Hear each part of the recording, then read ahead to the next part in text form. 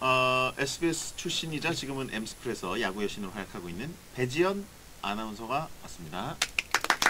동상 공성동문. 그래. 어, 어디 어, 배씨세요? 나는 김혜배 씨인데. 이제 물어본 거예요? 예전에만 물어봤다. 어디 배씨냐고 굳이 잘 안 물어보니까. 어디야? 분성 분성 분성이지. 다 근데 그 그쪽 동네라. 뿌리죠. 다다 어, 뿌리죠. 성주, 분성, 김해 이쪽이 다 그쪽. 의외로 우리 조상은 TK. 솔로 배씨. 어, 그래요. 브록 배씨 차단. 가을 하늘 바람. 제 예전 별명 베지타였는데 어떻게 하실 거예요?